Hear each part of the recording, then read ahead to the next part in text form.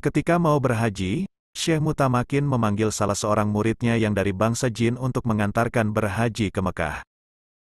Sewaktu pulang dari Mekah, Syekh Mutamakin juga diantarkan muridnya dari bangsa jin, ketika sampai di tengah lautan berpapasan dengan Ratu Jin Kafir. Dan Ratu Jin Kafir itu meminta agar Syekh Mutamakin dilepaskan saja oleh muridnya. Kalau tidak mau melepaskan, maka Ratu Jin Kafir itu akan membunuh murid dari Jin Syekh Mutamakin. Syekh Mutamakin kemudian dikhianati oleh muridnya, dan ditinggalkan sendirian di tengah lautan. Kemudian Syekh Mutamakin pasrah kepada Allah dan memejamkan mata, sehingga ditolong oleh ikan meladang diantarkan ke pinggir pantai.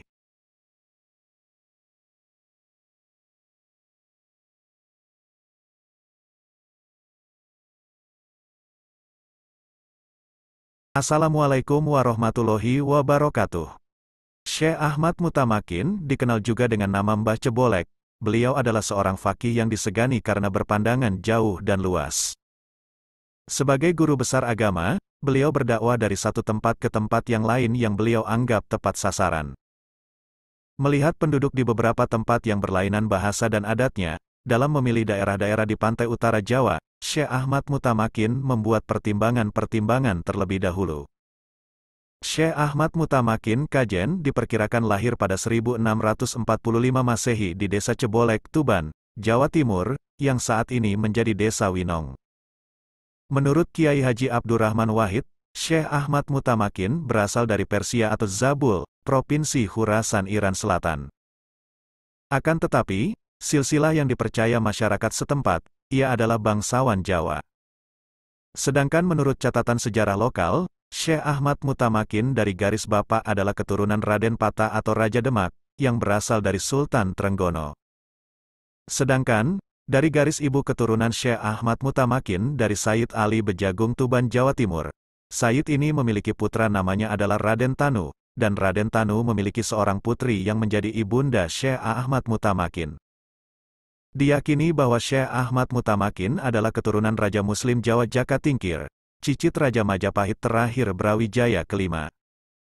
Ayah Syekh Ahmad Mutamakin adalah Sumahadi Wijaya, adalah Pangeran Benowo kedua, Raden Sumahadi Negara bin Pangeran Benawa pertama, Raden Hadiningrat bin Jaka Tingkir atau Sultan Hadiwijaya bin Ki Ageng Pengging bin Ratu Pambayun, binti Prabu Brawijaya kelima Raja Majapahit terakhir. Ratu Pambayun adalah saudara perempuan Raden Patah, Istri Jaka Tingkir adalah putri Sultan Trenggono bin Raden Patah Raja Demak. Pada abad ke-17, hubungan Tuban dan Pati dengan daerah Banten dapat dilihat dari seringnya pelabuhan Tuban dan Juana atau Pati, disinggahi para pelayar dari Banten. Kedua pelabuhan itu mempunyai kedudukan penting bagi Mataram, dalam distribusi hasil pertanian dari pedalaman. Bahkan, dengan kebijakan Mataram yang membagi empat wilayah daerah pesisir dua pelabuhan tersebut, mampu menandingi pelabuhan Semarang dan Jepara. Terlebih lagi ketika Jepara dipandang tidak aman karena sering terjadi pembajakan kapal. Diduga Syekh Ahmad Mutamakin mengawali perjalanan intelektualnya dengan berlayar ke Banten. Beliau bertemu dengan ulama besar Syekh Muhammad Yusuf Al-Makassari, yang kemudian beliau melanjutkan ke negeri Timur Tengah. Diduga sebelum sampai ke Banten, beliau singgah ke Tegal, Jawa Tengah, Hal ini didasarkan atas makam ayahnya, Pangeran Benawa II, yang diyakini terdapat di Tegal, bahkan, di daerah tersebut terdapat desa yang bernama Kajen. Sepulang dari Timur Tengah, Syekh Ahmad Mutamakin tidak kembali ke Tuban melainkan ke sebuah desa di Pati bagian utara. Sejak kecil Syekh Ahmad Mutamakin tidak menyukai gaya hidup keraton yang glamor, kemudian melakukan pengembaraan ke arah barat hingga sampai Sarang Rembang. Beliau menetap sementara di Sarang dan mendirikan sebuah masjid, kemudian melanjutkan perjalanan dakwah ke arah barat dan kemudian singgah di Cebolek. Setelah menetap di Cebolek, Syekh Mutamakin setiap malam setelah melakukan salat malam atau salat tahajud, beliau melihat sinar ke arah atas. Dicarilah sinar itu ke arah barat, hingga ketemu pusat sinar yaitu di kediaman Kiai Haji Samsudin, di Desa Kajen Kecamatan Margoyoso Kabupaten Pati, Jawa Tengah. Kemudian Syekh Mutamakin berbayat menjadi murid dan santri Kiai Haji Samsudin. Setelah Syekh Mutamakin menjadi murid Kiai Haji Samsudin, karena kealimannya, kebagusan ahlaknya dan kecerdasannya, Syekh Mutamakin kemudian dijodohkan dan diambil menantu Kiai Haji Samsudin, dengan seorang putrinya bernama Nyai Solihah. Setelah menjadi santri Kiai Haji Samsudin, Syekh Mutamakin kemudian melanjutkan perjalanan intelektualnya ke Timur Tengah. Syekh Mutamakin belajar di Timur Tengah dalam beberapa lama, salah satu gurunya adalah makamnya ada di Madinah. Makam gurunya Syekh Mutamakin ada lubangnya, dan lubangnya selalu mengeluarkan angin yang berbau harum. Namun, karena di sana menganut paham Wahabi, sekarang makam guru Syekh Mutamakin tersebut sudah tidak terawat dan dibuangin sampah oleh masyarakat Arab.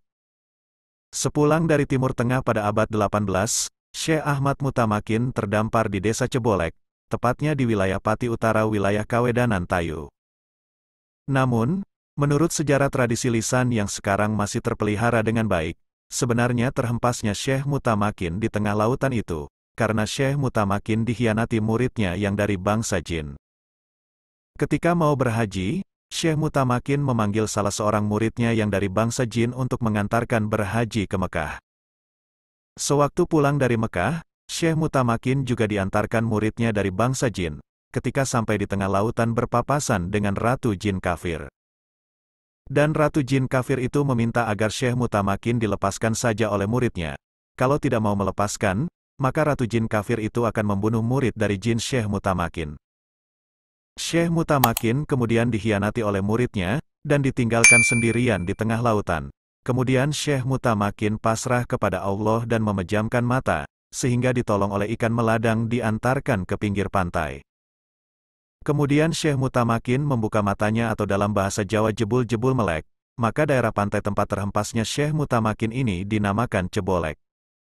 Dapat pula diasumsikan bahwa beliau terdampar di pantai timur Cebolek, karena kapal yang ditumpanginya dibajak oleh pembajak dari Jepara, yang pada waktu itu merajalela di Laut Utara Jawa.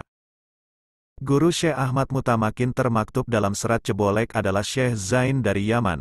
Figur ini juga dikenang oleh masyarakat di sekitar makam Syekh Ahmad Mutamakin. Syekh Zain adalah Syekh Muhammad Zain al-Misjazi al-Yamani, seorang tokoh tarikat Naksabandiyah yang sangat berpengaruh. Meski tahun kehidupan Syekh Zain tidak diketahui pasti, tetapi ayahnya Syekh Muhammad Al-Baki Al-Mizyai adalah guru Syekh Yusuf Al-Makassari dan Syekh Abdurrauf As-Singkili, yang wafat pada tahun 1663, dan putranya Syekh Abdul Halik Ibnu Zain Al-Mizyai, wafat tahun 1740. Tidak diketahui secara persis Syekh Ahmad Mutamakin berguru kepada Syekh Muhammad Zain Al-Yamani. Baik serat cebolek maupun lokal historis masyarakat tidak mengungkapkannya, juga tidak tentang guru-gurunya yang lain. Akan tetapi, kita bisa bercermin pada riwayat historis murid Jawi pendahulunya, Syekh Abdul Rauf As-Singkili dan Syekh Yusuf Al-Makassari yang menyusuri kawasan timur dan selatan Arabia, termasuk Yaman sebelum sampai ke Haramain atau Mekah dan Madinah. Diasumsikan, Syekh Ahmad Mutamakin mengikuti rute perjalanan serupa sebelum akhirnya sampai ke Mekah, dengan demikian dapat melaksanakan ibadah haji. Jika benar ia mengikuti rute gurunya Al-Singkili dan Al-Makassari, maka dapat dicatat di sini beberapa tempat yang disinggahinya, yaitu Duha atau Doha, di wilayah Teluk Persia, Yaman, Jeddah, dan akhirnya Mekah dan Madinah. Tetapi sebelum ke Timur Tengah, kemungkinan pertemuan Syekh Mutamakin dengan Muhammad Yusuf Al-Makassari di Banten sekitar 1691 Masehi. Syekh Al-Makassari diasingkan di Tanjung Harapan pada tahun 1694 Masehi.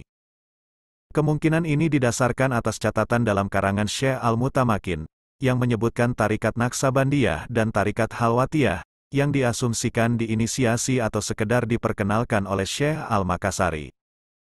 Berkat Syekh Al-Makassari, kemudian beliau diperintahkan belajar ke Timur Tengah, mengikuti rute yang pernah dilakukan oleh Al-Makassari. Dari beberapa tempat dalam rutenya, Diperkirakan beliau juga belajar beberapa guru dan diinisiasi oleh guru tarikat yang hidup pada masa itu, selain berguru kepada Syekh Zain al-Yamani. Beberapa murid Syekh al-Singkili, wafat tahun 1693, yang sezaman dan barangkali bertemu dengan Syekh al-Mutamakin antara lain.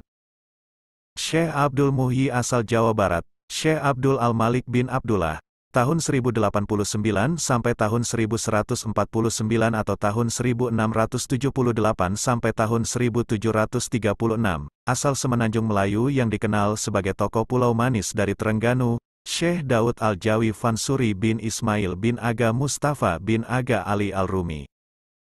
Yang terakhir ini adalah murid kesayangan Syekh Al-Makassari yang juga sebagai khalifah utamanya. Barangkali Syekh Asingkililah yang yang menginisiasi Syekh Al-Mutamakin ke dalam tarikat Satariyah, meski sumber-sumber yang ada tidak memberikan angka tahun pertemuannya. Dugaan ini didasarkan atas catatan teks karangan Syekh Al-Mutamakin, yang membicarakan tarikat Satariyah berbahasa Arab Melayu, Jawa Pegon. Ketika Syekh Al-Mutamakin sampai di Yaman, Syekh Muhammad Abdul Al-Baki Al-Mizyai sudah wafat, dan diganti oleh anaknya Syekh Zain bin Muhammad Abdul Al-Baki Al-Mizyai. Selain Syekh Al-Mutamakin, Fletcher menegaskan, seorang Muslim Cina Ma Mingxin juga belajar dengan Syekh Zain bin Muhammad Abdul Al-Baki Al-Mizyai, tahun 1053 sampai tahun 1138 Hijriah, atau tahun 1643 sampai tahun 1726 Masehi, dan putranya Abdul Al-Halik wafat 1740 Masehi. Ketika sampai di Makkah dan Madinah, Syekh Al-Mutamakin tidak menemui guru-guru Syekh Al-Singkili dan Syekh Al-Makassari, karena mereka sudah meninggal dunia. Beliau hanya menemui generasi selanjutnya, yang dapat dicatat dari kolega-kolega Syekh Al-Singkili dan Syekh Al-Makassari.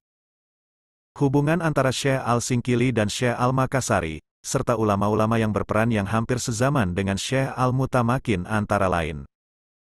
Syekh Umar bin Abdullah Basyaiban, Syekh Muhammad bin Abdul Baki Al-Naksabandi, Said Ali Al-Zabidi, Syekh Muhammad bin Al-Waji Al-Sadi Al-Zamani, Syekh Ahmad Al-Kusyai, Syekh Ibrahim Al-Qurani dan Syekh Hasan Al-Ajami, Syekh Muhammad Al-Mazru, Al-Madani, Syekh Abdul Karim Al-Pululahuri, Syekh Muhammad Muras Al-Sami, Syekh Ayub bin Ahmad bin Ayub Al-Dimaski Ahawati, tahun 994 sampai tahun 1071 Hijriah, atau tahun 1586 sampai tahun 1661 Masehi. Maka guru-guru Syekh Al-Mutamakin adalah generasi berikutnya, yang bisa jadi murid-murid dari ulama tersebut, atau teman-teman Syekh Al-Makassari. Dibanding murid-murid Syekh Al-Makassari lainnya, Syekh Al-Mutamakin lebih dulu berkiprah, karena murid-murid Syekh Al-Makassari hidup dan berkiprah pada abad 18, sedangkan Syekh Al-Mutamakin hidup pada masa peralihan abad 17 dan 18. Syekh Ahmad Mutamakin memiliki murid-murid besar seperti Kiai atau Syekh Ronggo Kusumo, Kiai Mizan, Raden Soleh dan murid-murid lainnya yang tersebar di mana-mana. Menurut pengamatan dari para sesepuh, dan cerita yang kini masih beredar di masyarakat setempat, konon pada zaman dahulu yang termasuk orang pertama di desa Kajen sebelum Syekh Ahmad Mutamakin ialah Kiai Haji Samsudin. Kemudian Kiai Haji Samsudin mempercayakan serta menyerahkan desa Kajen kepada Syekh Ahmad Mutamakin. Setelah mendapatkan kepercayaan tersebut, Akhirnya beliau berkenan hijrah dan menetap di desa Kajen. Sebagaimana cerita Kiai Telingsing yang menyerahkan dan mempercayakan kota Kudus kepada Sunan Kudus. Dari peristiwa inilah kemudian desa itu dinamakan Kajen, berawal dari istilah Kaji Ijen, istilah Jawa. Bekas kediaman Kiai Haji Samsudin, terletak di sebelah utara perguruan Mataliul Falah mengarah ke timur. Adapun makamnya terletak di sebelah barat makam Syekh Ahmad Mutamakin, atau tepatnya di sebelah selatan telaga. Kemungkinan tempat tinggal Kiai Haji Samsudin berada di sebelah utara Madrasah Mataliul Fala ada benarnya, karena dapat ditemukan sisa-sisa peninggalan Kiai Haji Samsudin, berupa sumur tua yang sampai sekarang masih terawat dengan baik. Di sumur tua ini dapat dijumpai para peziarah yang melakukan mandi, dan mengambil air dari sumur bekas peninggalan Kiai Haji Samsudin. Sumur tua ini diyakini oleh masyarakat setempat dan sekitarnya, terkandung berkah dan karoma tertentu yang dapat digunakan untuk mengobati suatu penyakit, khususnya bagi orang yang terkena santet, teluh, tenung, leak, guna-guna dan berbagai jenis sihir lainnya, di samping itu juga untuk suatu hajat tertentu. Sebagaimana diketahui bahwa ulama utama yang terdapat pada jaringan ulama abad 17 dan ke-18 adalah Syekh Ibrahim Al-Qurani, tahun 1614 sampai tahun 1690 Masehi, yang merupakan murid dari Syekh Al-Kusyai. Kenyataan bahwa Syekh Al-Qurani memiliki posisi sangat penting dalam perkembangan jaringan ulama lebih lanjut, terlihat tidak hanya melalui jumlah murid-muridnya, tetapi juga melalui karya-karya yang cukup banyak. Dia merupakan titik bersama bagi terbentuknya garis-garis hubungan ulama-ulama pada abad ke-17 dan ke-18, bahkan beliau dipilih sebagai mujadid abad 17.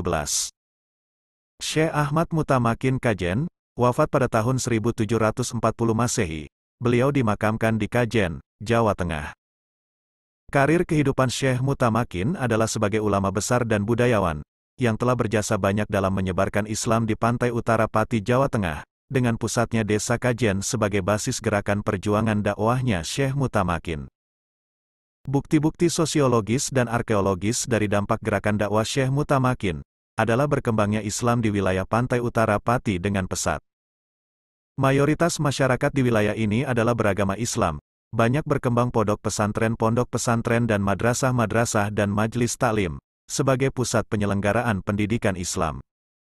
Selain sebagai tokoh ulama besar, Syekh Mutamakin dalam pandangan masyarakat setempat diakui sebagai seorang aulia.